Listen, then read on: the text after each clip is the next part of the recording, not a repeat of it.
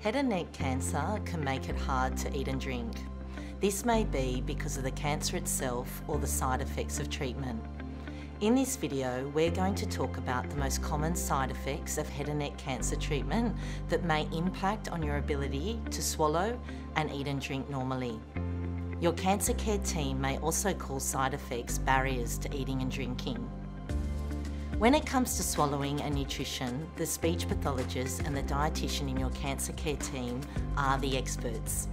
It is their job to teach you ways to make swallowing easier and make a plan so that you receive all the nutrients you need before, during and after treatment. It is normal to experience some difficulty eating and drinking after head and neck cancer treatment, but everyone's experience will be different and will change over time. Your speech pathologist and dietitian have different strategies and ideas to help you manage the side effects that may be making it difficult for you to eat or drink. Good communication with your speech pathologist and dietitian is very important to help you get the best care before, during and after your treatment.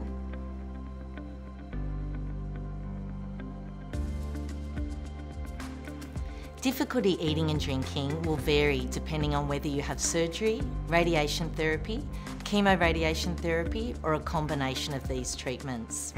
The five most common reasons that eating and drinking may be affected include difficulty swallowing, which is called dysphagia, pain when you swallow, which is known as odynophagia.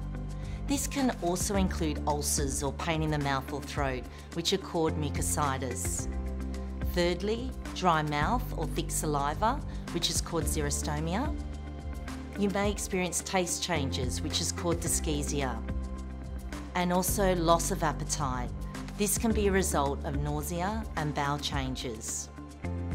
Other less common difficulties when eating and drinking include difficulty opening the mouth, which is known as trismus, lymphedema, which is swelling in the neck and or face, and problems with your teeth.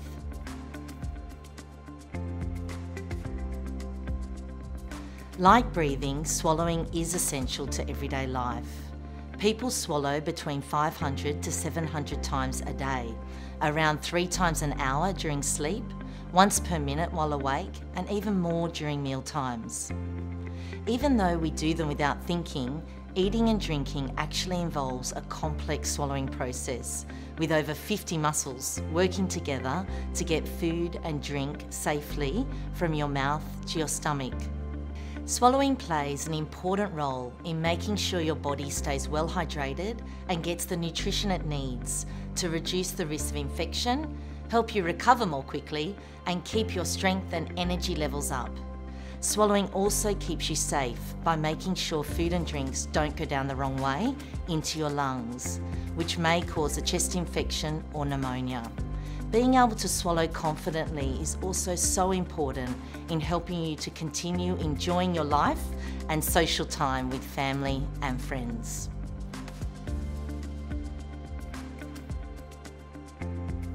Difficulty swallowing is known as dysphagia.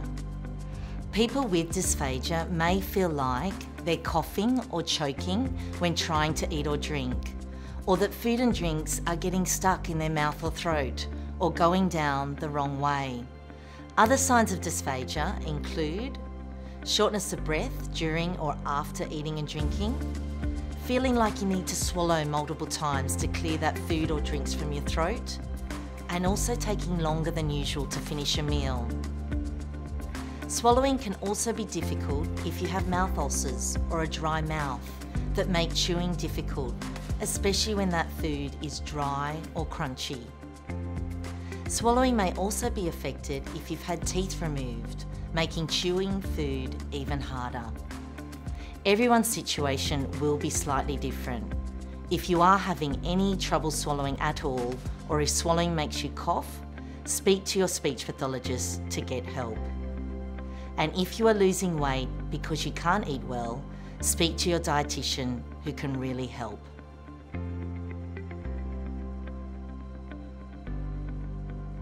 There are different tests that look at how well you swallow food and drinks.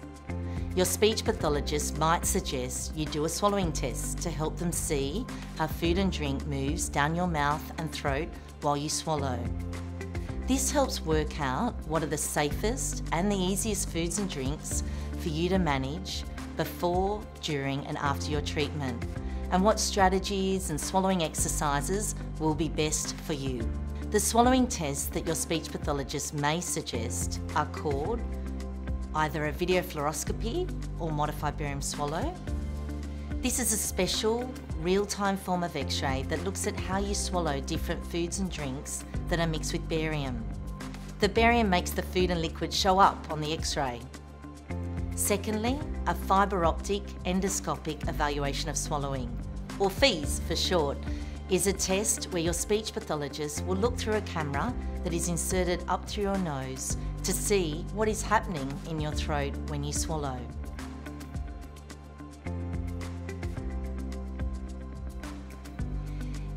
Here are some tips on how to swallow safely when eating. Firstly, make sure you're sitting upright in a straight back chair during and after your meal. Try not to talk and eat at the same time. Take small bites of food. Add extra sauce, gravy or custards to moisten them. Have a drink with every couple of bites to help you clear your throat and flush food to the stomach. And at the end of the meal, check that the inside of your mouth is clear. Try and avoid foods that are dry or crumbly, or foods that scratch or irritate a sore mouth or throat, like vinegar, chips, and toast. It's also best not to eat or drink in bed, or when you're tired or you're drowsy.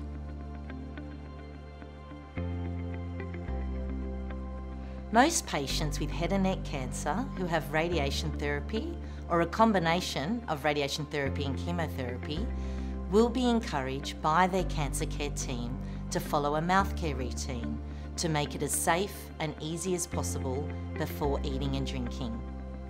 Your cancer care team, including the dentist, the speech pathologist and nurse, will plan a mouth care routine that's right for you, which may include mouthwashes, taking your prescribed pain relief medications, particularly before meals, to minimise the pain when swallowing, and also optional is using a mouth spray. Your team may also recommend using a saline nebulizer mask to moisten your mouth and throat and reduce any of that thick saliva.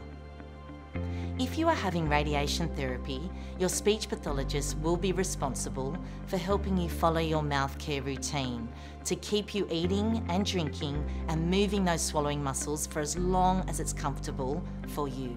Your speech pathologist may also give you swallowing exercises to help stretch and strengthen those muscles in your mouth and your throat.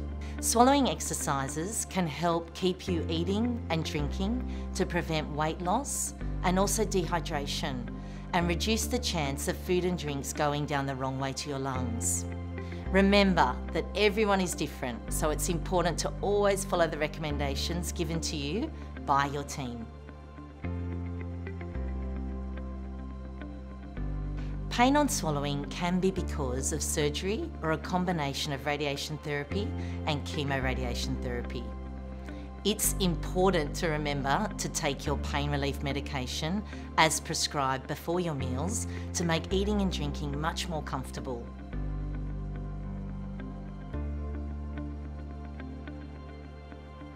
Difficulty opening your mouth fully is called trismus.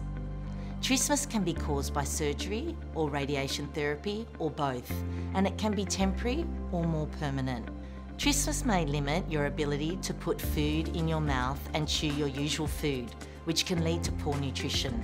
It can also really affect your ability to speak, brush your teeth, or have a dentist check your teeth. Trismus tends to develop slowly. In some patients, it progresses so slowly that you might not even notice it but the earlier it's diagnosed, the more effective your treatment is likely to be. Remember, if you are having trouble opening your mouth, please talk to your cancer care team or dentist as there are exercises to help. It's very important to seek help early before trismus becomes a problem.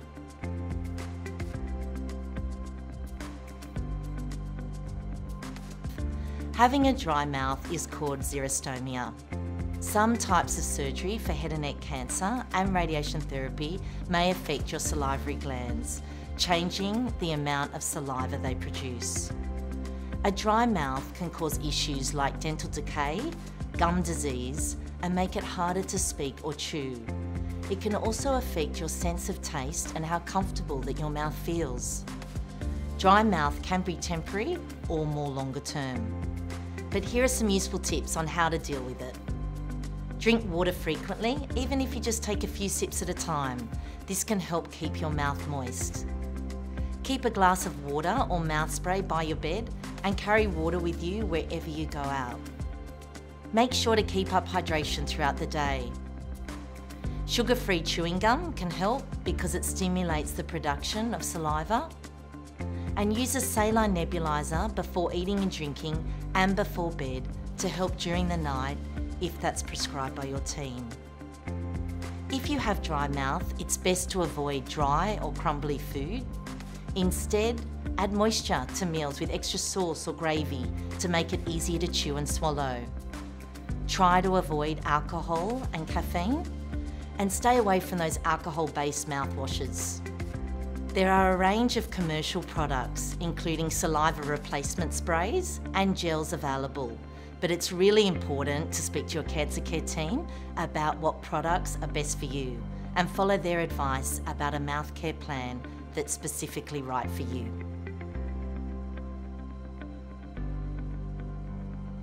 If your appetite is poor, it's important you make sure you're getting enough nutrition and avoid unplanned weight loss by choosing foods that are high in protein and energy. It's also important that you eat whenever you feel hungry, no matter what time it is. Snack, snack, and snack some more. You might find it easier to eat six smaller meals and snacks each day instead of three big ones. Remember that good nutrition helps the body heal and reduce the risk of infection, as well as maintain muscle.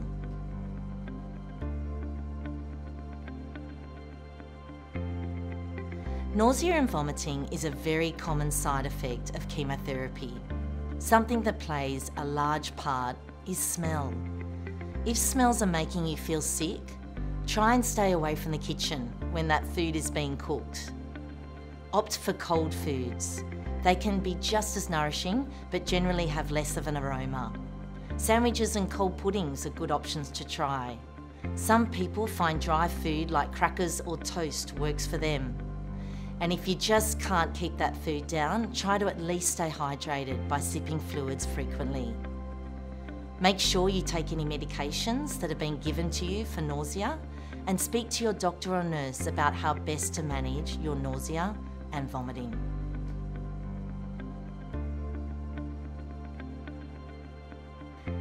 Some people may not be able to eat or drink anything or enough for a while after surgery, during radiation therapy, or a combination of radiation therapy and chemotherapy. If this is the case, your cancer care team may recommend temporary tube feeding to make sure that you're getting enough nutrition to stay well nourished.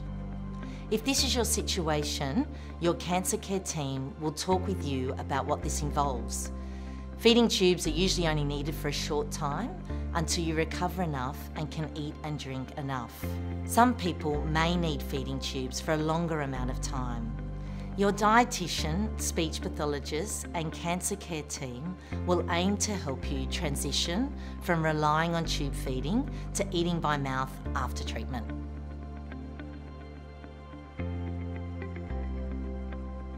The top tips to remember. It is normal to experience some difficulty eating and drinking after head and neck cancer treatment.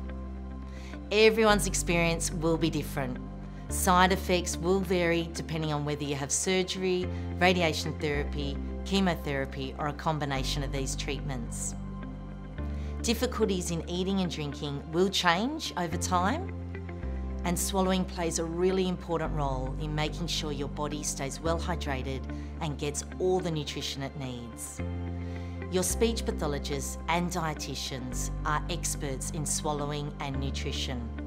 Good communication with your speech pathologist and dietitian is really important to help you get the best care before, during and after treatment.